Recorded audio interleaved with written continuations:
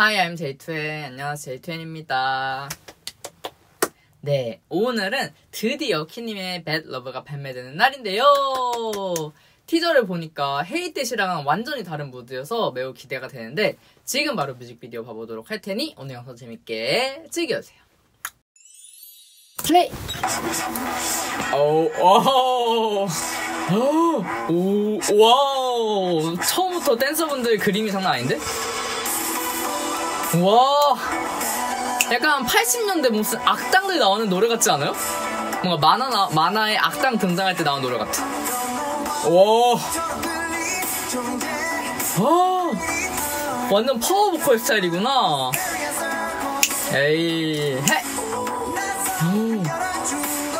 아 발음 쫀쫀한 것 봐. 아이, 오, 무대 비하인드로 바뀌었네요. 와, 와, 이 스타일 진짜 빡세다. 가사가 근데 약간 뭔가 샤이니 가사가 떠올라요, 뭔가. 단어들 되게 고급지다. 오.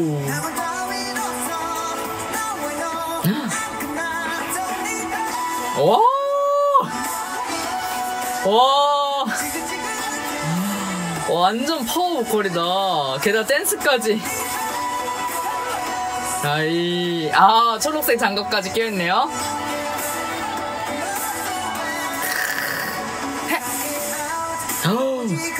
와. 근데 노래가 너무 꽉 차 있어서 진짜 힘들겠다. 이거 혼자 다 하려면 무대 너무 힘들겠다. 아이. 아히. 오, 거울의 방 컷도 너무 예뻤다. 아이. 약간 느낌이 약간 네오한 느낌도 있네요. 오. 제가 지금 가사지를 보면서 보고 있는데, 진짜 고급진 표현들이 많네요. 아이. 아, 쌉이 너무 잘 나왔다. 아, 입단 벨럭.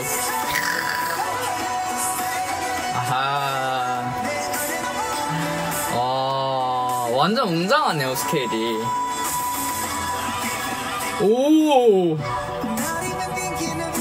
아이.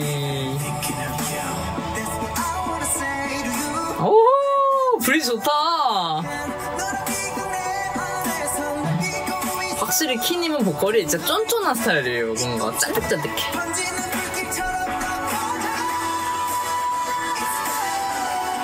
아이. 뭔가 이 밀어버리 너무 잘 어울리는 노래다.